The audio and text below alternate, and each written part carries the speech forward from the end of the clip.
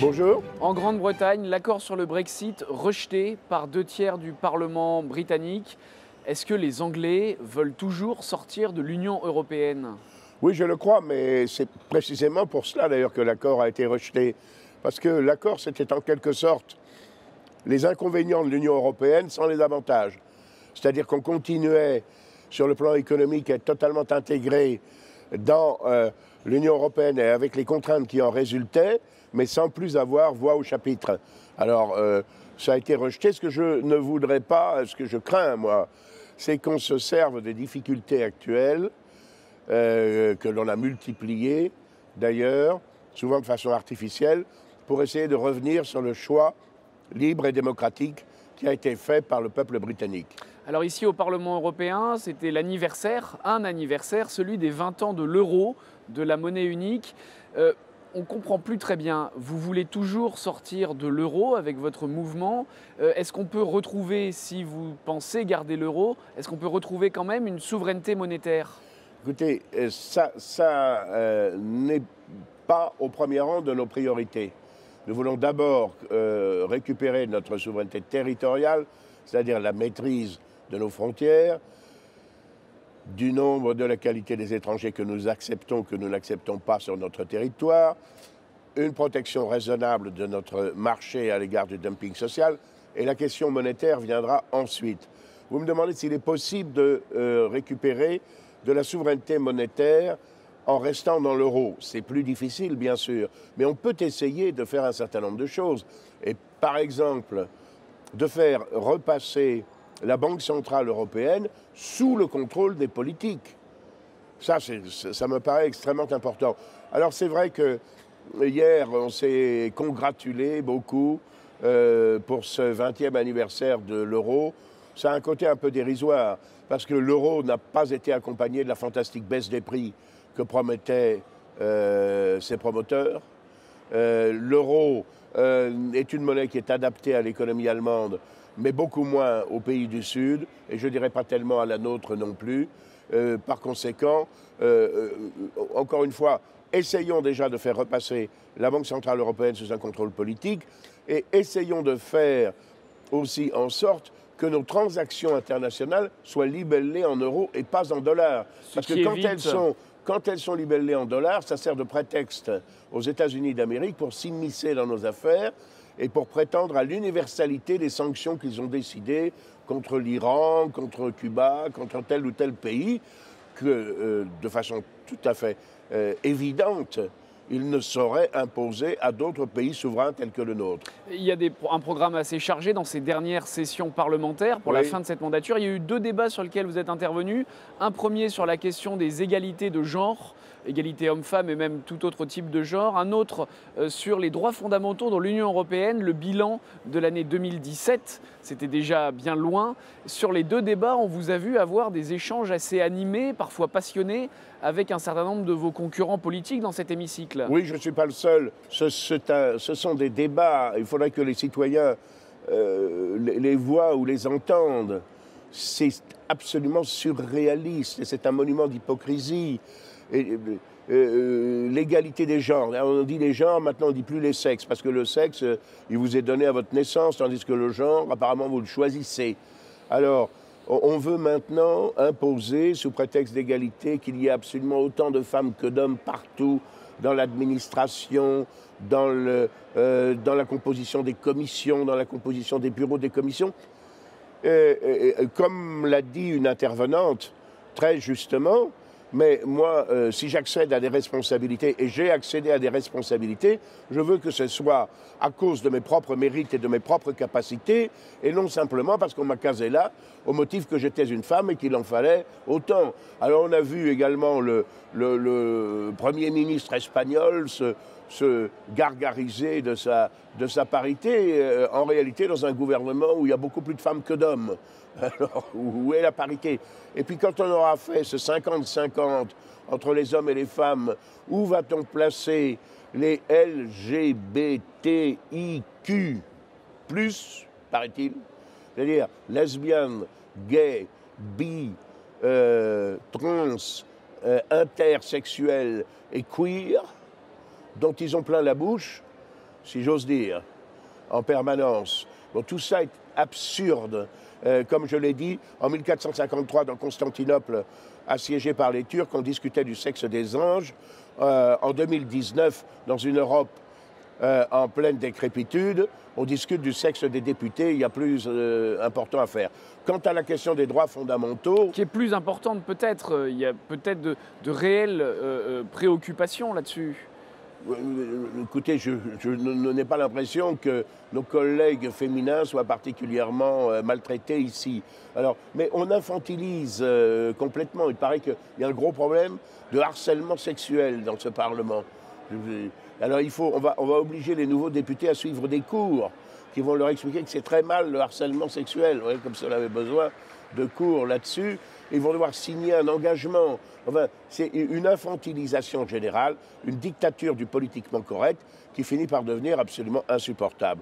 Et alors pareil pour ce qui est des prétendus droits fondamentaux, les droits fondamentaux euh, tels qu'ils les comprennent.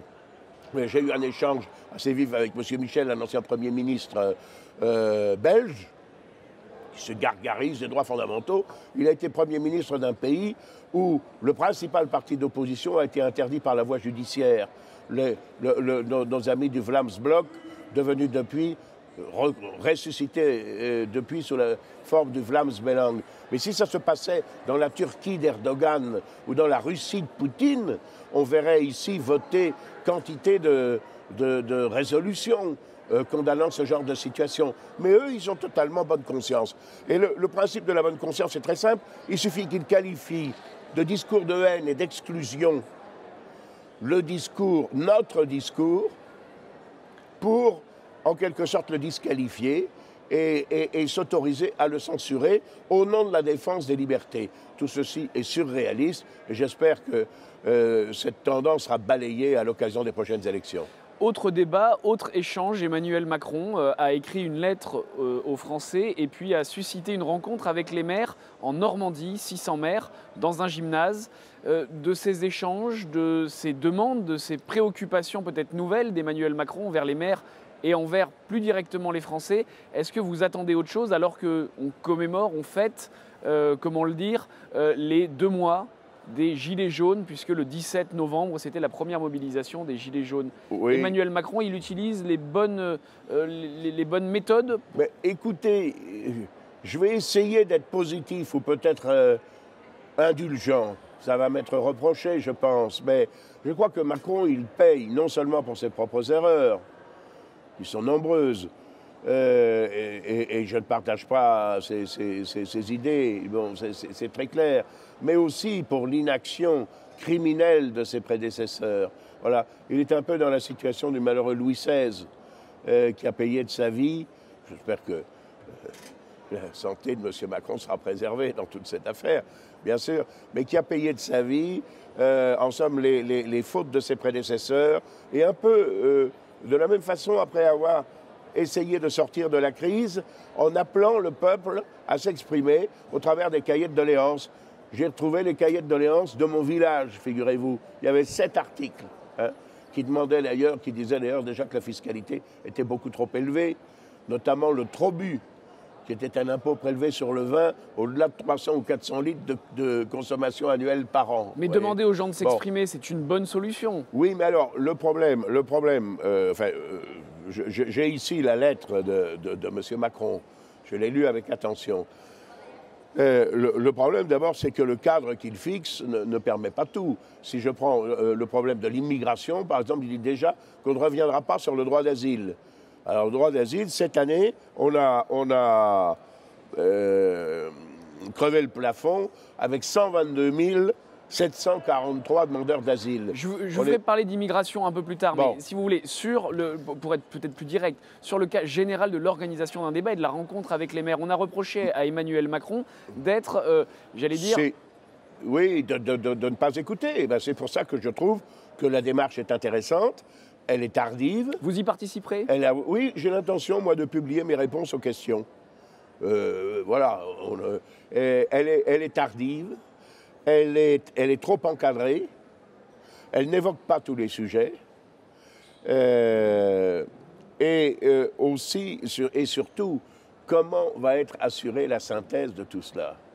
Parce que si c'est pour laisser les gens parler, parler, comme le faisait Mao Tse-tung, euh, que sans fleurs s'épanouissent, etc., et on laissait, tout le monde parler, et ensuite le parti poursuivait dans sa voie absolument implacable, alors ça n'aurait pas grand intérêt.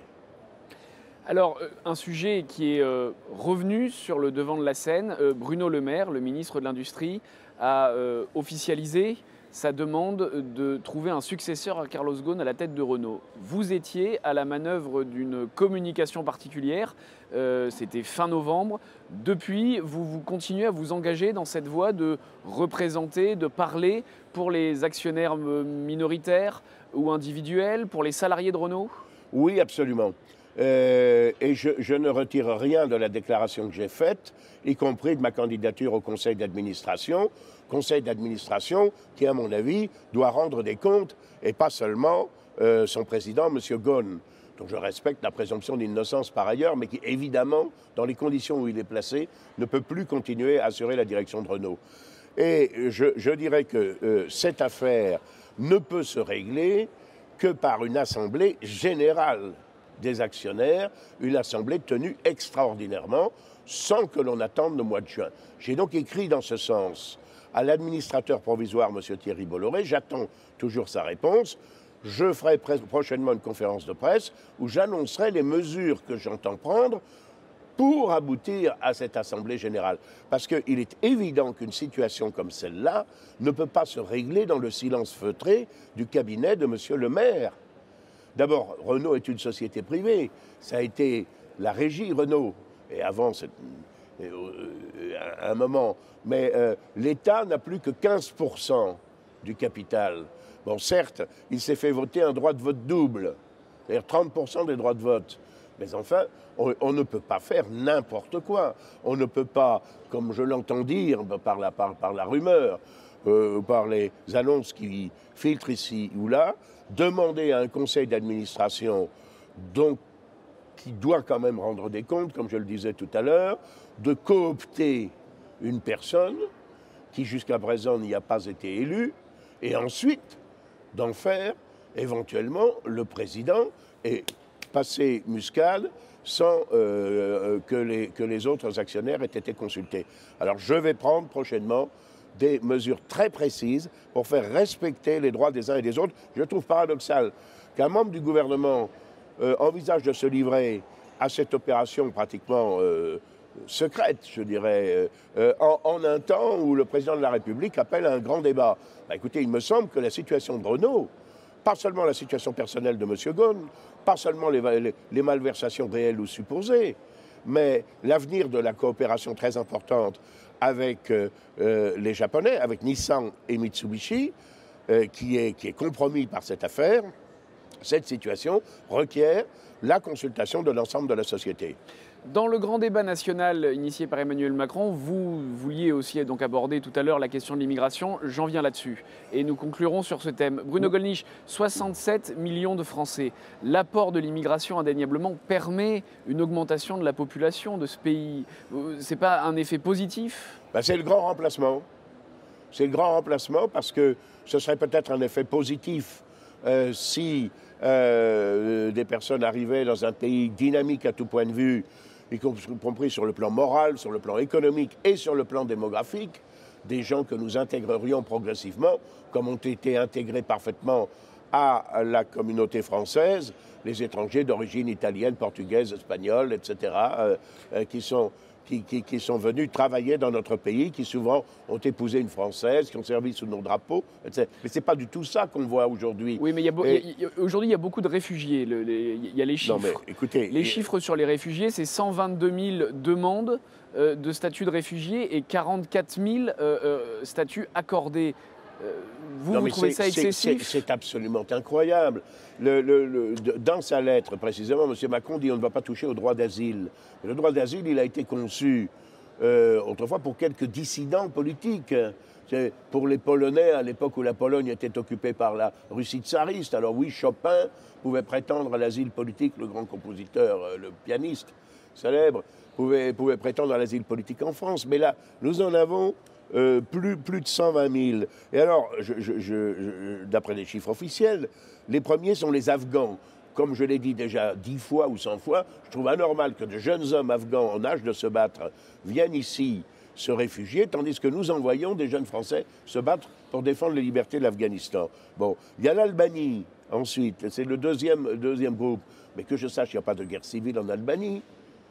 Il a pas, euh, euh, ce n'est pas du tout l'asile politique. C'est évidemment des gens qui cherchent une condition économique meilleure et à profiter de notre système social. Le troisième, c'est la Géorgie, et ainsi de suite. Bon, je n'ai rien contre ces pays-là, mais il me semble que ça ne relève pas du droit d'asile. Par conséquent, il faut réformer le droit d'asile. Macron dit euh, on ne touchera pas au droit d'asile, et pour le reste, vous avez le droit de débattre des quotas pour les nouveaux arrivants. De titre de séjour, finalement. Oui, c'est-à-dire combien, combien est-ce que vous en voulez Mais ce n'est pas du tout le, euh, le problème. On sait très bien que ça ne marchera pas de dire on veut tant de milliers de telle nationalité, tant de milliers d'étrangers de telle autre, etc. Pourquoi, comment? Non, c'est pas ça qu'il faut faire. Il faut couper les pompes aspirantes qui alimentent le processus de euh, l'immigration massive chez nous. Légal et illégal Il faut instaurer, légal et illégal, il faut instaurer notamment la préférence euh, nationale. Euh, il faut euh, faire en sorte également que toute demande pour de, visa pour la France ou de droit d'asile, soit instruite dans les, dans les pays d'origine, sauf cas tout à fait exceptionnel, dans les pays d'origine, auprès des consulats de France, et non pas qu'on laisse les gens entrer en France et ensuite qu'on les y garde des mois, voire des années, et quand ils finissent par être déboutés du droit d'asile, ben, qu'est-ce qu'ils font? Ben, Ils restent quand même. Voilà, c'est 4,95% d'entre eux. C'est une situation monstrueuse. Alors là, nous avons effectivement 122 euh, 000 cette année, chiffre officiel 2018, 122 000 de, demandes d'asile qui ont été accordées, 255 000 titres de séjour, c'est-à-dire déjà 370 000 rien que pour l'année 2018, sans compter. Tous ceux qui ne se sont pas signalés. Tous ceux qui ne se sont pas signalés, sans compter les naissances d'enfants euh, nés en France de parents étrangers, qui ne sont pas comptabilisés là-dedans, etc. Alors on nous dit la population augmente, et pourtant euh, la natalité française diminue. Oui, le renouvellement des Français n'est pas assuré et la, et, la submersion continue d'arriver de l'extérieur. C'est ce que, ce que l'on a très justement appelé le grand remplacement, en effet. alors, la question de la dénatalité, qu'est-ce qu'on peut faire sur ce eh bien, il faut une politique en faveur. Il faut une politique en faveur de la vie. Il faut une politique en faveur de, de, la famille, plutôt que les âneries qu'on nous déverse ici euh, au, au, Parlement européen. Il faut reconnaître le rôle éminent de la transmission de la vie, et évidemment en particulier euh, chez les mamans, puisque jusqu'à preuve du contraire, euh, ce n'est pas, les hommes euh, qui, fabriquent les, bébés. Bon. et, c'est d'ailleurs la raison pour laquelle je soutiens tout à fait la manifestation pour la vie qui aura lieu ce dimanche. ce dimanche, rassemblement à Paris, Porte Dauphine, à 13h30. Bruno Gollnisch, merci du temps que vous nous avez accordé. Bonne fin de session. Merci à vous. Au revoir.